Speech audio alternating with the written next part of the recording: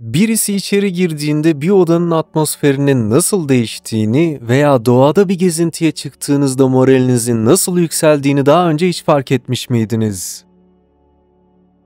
Bu deneyimler daha derin bir şeye işaret ediyor. Enerji alanı kavramı. Bizi çevreleyen ve içsel durumumuzu yansıtan görünmez bir aurayı işaret ediyor. Bu kozmostan içimizdeki en küçük atoma kadar tüm canlı varlıkları birbirine bağlayan görünmez bir ağ gibidir. Yine de her yerde bulunmasına rağmen çoğu insan onun gücünü anlamakta veya kullanmakta zorlanır. Organik zekaya hoş geldiniz. Ağır, bunaltıcı bir atmosferde uyandığınızı düşünün. Sanki siz daha yataktan kalkmadan dünyanın yükü omuzlarınıza çökmüş gibi gelir. Peki ya bu ağırlık sınırsız bir canlılık kaynağına, sizi yenilenmiş bir güçle ileriye iten bir enerji kaynağına dönüşebilseydi? Tarih boyunca saygıdeğer bilgeler ve mistikler, insan zihniyle bizi saran ruhani enerji alanı arasındaki karmaşık ilişkiyi derinlemesine incelemişlerdir. Onların öğretileri zihinsel yetilerimiz üzerinde ustalık kazanarak bu gizli gücü şekillendirme ve yönlendirme gücü kazandığımızı ve onu kişisel gelişim ve etki için güçlü bir araca dönüştürdüğümüzü öne sürer. Bu kavram bizi kendi bilincimizdeki derin potansiyeli keşfetmeye, içimizde uyuyan ve daha iyi bir hayat için uyandırılmayı ve kullanılmayı bekleyen gizli yeteneklerin kilidini açmaya çağırır. Peki enerji alanının inceliklerini anlama yolculuğumuza nereden başlamalıyız? Varoluşun dokusuyla derinlemesine iç içe geçmiş temel bir güç olan manyetizmanın derin alemini keşfederek başlayalım. Manyetik alanımız tıpkı bir dokumanın görünmez iplikleri gibi düşüncelerimizin, duygularımızın ve genel varlığımızın durumunu yansıtır. Bu unsurlar uyum içinde olduğunda manyetik alanımız uyumla rezonansa girer ve varlığımız boyunca dalgalanan canlılık ve zindelik duygularını geliştirir. Ancak stres ve duygusal çalkantı anlarında bu hassas denge bozularak manyetik alanımızın bozulmasına neden olabilir. Bu bozulmalar içimizde dengesizlikler olarak ortaya çıkar ve yalnızca zihinsel ve duygusal durumlarımızı değil, aynı zamanda fiziksel sağlığımızı ve çevremizdeki dünya ile olan etkileşimlerimizi de etkileyebilir. Bu manyetik uyumu anlayarak ve besleyerek enerji alanı üzerinde gerçek ustalık potansiyelini ortaya çıkarmaya başlayabiliriz. Enerji alanı üzerinde gerçekten ustalık geliştirmek için düşüncelerimizin derin etkisini anlama yolculuğuna çıkmamız gerekiyor bir simyacının temel metalleri değerli altına dönüştürmesi gibi düşüncelerimiz de gerçekliğimizi şekillendirmek için inanılmaz bir güce sahiptir. Düşündüğümüz her düşünce enerji alanı boyunca dalgalanmalar göndererek olayların gidişatını hem ince hem de derin şekillerde etkiler. Simyacının altını elde etmek için çeşitli elementleri dikkatle harmanlaması gibi biz de düşüncelerimizin gücünü hassasiyet ve amaçla kullanmayı öğrenmeliyiz. Düşüncelerimizin yaratıcı gücünden yararlanmak için güçlü bir teknikte manyetik görselleştirme uygulamasıdır. Bu dönüştürücü uygulama arzu edilen sonuçları ve deneyimleri ortaya çıkarmak için manyetik enerjiyi zihinsel olarak yansıtmayı ve manipüle etmeyi içerir. Manyetik görselleştirme, hayal gücümüzü ve niyetimizi devreye sokarak içimizdeki ve etrafımızdaki manyetik enerji akışını aktif olarak şekillendirmemize ve yönlendirmemize olanak tanır. Bu bir heykeltıraşın aletlerini kullanmaya benzer. Hayal ettiğimiz hayatı şekillendirmek için gerçekliğin ham maddesini yontmaya benzer. Kararlı bir şekilde yapılan uygulamalar sayesinde kendimizi enerji ve canlılıkla titreşen, canlı ve parlak bir manyetik alanla çevrelenmiş olarak görselleştirmeyi öğreniriz.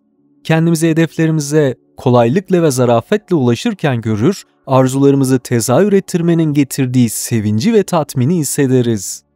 Manyetik görselleştirmenin inanılmaz gücü oyunun kurallarını değiştirir. Enerji alanının gizli potansiyelinin kilidini açar ve bize en uçuk hayallerimizi gerçeğe dönüştürme yeteneği verir.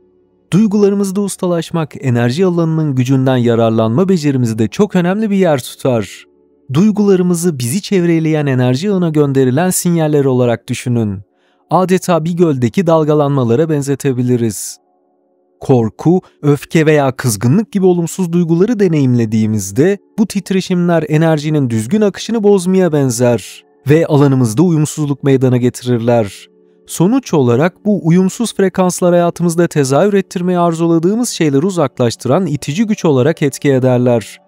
Buna karşılık sevgi, minnettarlık ve şefkat gibi olumlu duyguları geliştirdiğimizde enerji alanımız bir senfonideki uyumlu melodilere benzer şekilde daha yüksek frekanslarda rezonansa girecektir. Bu olumlu titreşimler mıknatıs görevi görerek en derin arzularımız ve niyetlerimizle uyumlu olan bolluk ve bereketi bize doğru çeker. Dolayısıyla duygularımıza hakim olarak yalnızca daha uyumlu bir içsel manzara yaratmakla kalmayız. Aynı zamanda en yüksek arzularımızı ve hayallerimizi yansıtan dış koşulları da kendimize çekmiş oluruz. İçsel uyum enerji alanında ustalaşmanın temel unsurudur. Enerji alanımızın kudret ve netlikle rezonansa girmesini sağlayan düşüncelerin, duyguların ve eylemlerin uyumlu hale getirilmesidir. Bu unsurlar uyumlandığında enerji alanımız etrafımızdaki dünyayı etkilemek için dışarıya doğru yayılan bir güç ve varlık göstergesi haline gelir. Tıpkı bir senfonideki güzelliğin farklı enstrümanların uyumlu bir şekilde harmanlanmasından ortaya çıkması gibi iç dünyamız uyumlu olduğunda canlılığımız ve etkinliğimiz de aynı şekilde artar. Meditasyon gibi zihni susturduğumuz ve içe döndüğümüz uygulamalar bu uyumun gerçekleştirilmesi için bize alan yaratır. Meditasyon yoluyla kendimizi enerji alanının ince ritimlerine ayarlar, derin bir tutarlılık ve netlik duygusunu geliştirmiş oluruz. Ayrıca öz sevgiyi geliştirmek bu süreçte son derece önemlidir. Kendimizi koşulsuz olarak kabul edip kucakladığımızda içsel uyumun gelişmesine yol açmış oluruz. Kendimizle şefkatli bir ilişkiyi besleyerek düşüncelerimizin, duygularımızın ve eylemlerimizin özgünlük ve uyumla rezonansa girmesini sağlayarak büyüme ve dönüşüm için verimli bir zemin hazırlarız. Evrensel akışa uyum sağlamak, varoluşun kozmik akışıyla bir olmak anlamına gelir. Bu kontrol ihtiyacımızdan vazgeçmek ve evreni yöneten zekaya teslim olmakla ilgilidir. Tıpkı bir nehrin zahmetsizce aşağı doğru akması gibi yaşam enerjisi de sürekli akış halinde hareket eder. Kendimizi bu akışla uyumlu hale getirerek tüm yaratıma nüfuz eden sınırsız bilgelik ve bolluktan faydalanmış oluruz. Minnettarlık bu hizalanma sürecinde çok önemli bir yer tutar. Minnettarlık yaşamlarımızı zenginleştiren sayısız nimetin farkına varmak ve takdir etme pratiğidir. Her ana şükran dolu bir kalple yaklaştığınızda etrafınızdaki bolluğu güçlendiren olumlu bir etkileşim döngüsü oluşturursunuz. Her minnettarlık ifadesi daha fazla nimet için bir mıknatısa dönüşür ve onları zahmetsizce hayatımıza çeker. Farkındalık, evrensel akışa uyum sağlamanın bir diğer temel bileşenidir. Bu yargılamadan veya geçmişe ya da geleceğe bağlanmadan her anda tamamen mevcut olma sanatıdır.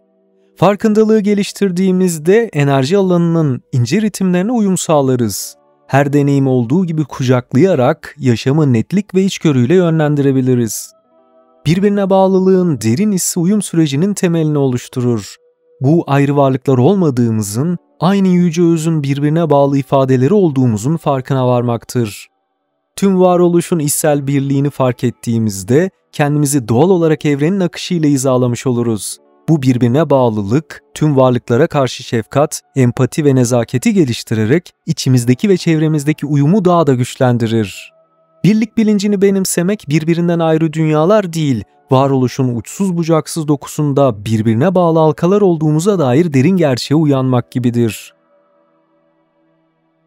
Bu her düşünce, söz ve eylemin evrende yankılanan dalgalar oluşturduğunun farkına varmaktır. Tıpkı su damlalarının okyanusa sorunsuzca karışması gibi tüm varlıkların doğasında var olan birliğin farkına varırız. Bu farkındalık dünya ile ve birbirimizle olan ilişkimizi dönüştürür. Bağışlamak, kızgınlık ve öfke yükünü salı vermenin bir yolu haline gelir ve hepimizin bu yolculukta birlikte olduğumuzu, kusurlu olduğumuzu ve evrim geçirdiğimizi anlarız. Varlık şimdi ve buraya odaklanmamıza yardımcı olur. Böylece yaşamla ve birbirimizle tam olarak ilişki kurabiliriz. Birlik bilincini somutlaştırırken sevgi ve anlayış için kanallar haline gelir, empati ve nezaketin geliştiği ve tüm varlıkların birbirine bağlılığının kutlandığı ve onaylandığı bir dünyayı desteklemiş oluruz. Sevgiyi ve aydınlığı yaymak, şefkatin ve nezaketin en yüksek ifadeleri için bir aktarıcı olmak gibidir. Bu da sadece bireyleri değil, varoluşun tüm dokusunu yüceltme gücüne sahiptir. Kendinizi evrenin her köşesine nüfuz eden sevgi ve ışık dalgaları yayan bir fener olarak hayal edin. Bu durumda her etkileşim dünyaya şifa enerjisi olarak aşılayarak sıcaklık ve pozitiflik yaymak için bir fırsat haline gelir. Tıpkı tek bir mumun karanlık bir odayı aydınlatabilmesi gibi sevgi ve ışıkla dolu varlığınız da etrafınızdakilerin kalplerini ve ruhlarını aydınlatma potansiyeline sahiptir. Bu empatinin özgürce aktığı, nezaket eylemlerinin dışa doğru yayıldığı ve asla tam olarak kavrayamayacağınız şekillerde hayatlara dokunduğu bir varoluş halini somutlaştırmakla ilgilidir. Ve siz bu sevgi ve ışığı yaydıkça bilincin kolektif yükselişine katkıda bulunarak başkalarına da aynısını yapmaları için ilham kaynağı olur ve evrende yankılanan bir dönüşüm dalgasını başlatmış olursunuz. Enerji alanı üzerindeki zihinsel kontrolde ustalaşmak bir kendini keşfetme ve dönüşüm yolculuğudur. Her adım bizi gerçek doğamızı gerçekleştirmeye daha da yakınlaştırır. Videoyu beğenin, paylaşın ve bir yorum bırakın. Eğer hala abone değilseniz Organik Zeka'ya abone olun. Bildirim ziliniz açık olsun. İzlediğiniz için teşekkürler. Zekamız organik olsun.